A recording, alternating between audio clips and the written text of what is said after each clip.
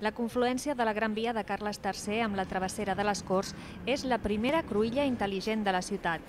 Això vol dir que té uns sensors que detecten el nivell de trànsit de cada via i a partir de les dades recollides amb aquest sistema es modifiquen els temps semafòrics per regular millor els fluxos de trànsit i vehicles. que aconseguim la sensorització d'aquesta cruïlla és amb una inversió molt raonable, perquè estem parlant eh, del voltant de 55, em sembla que són 55.000 eurons, eh, aconseguim un retorn en qualitat de vida molt important.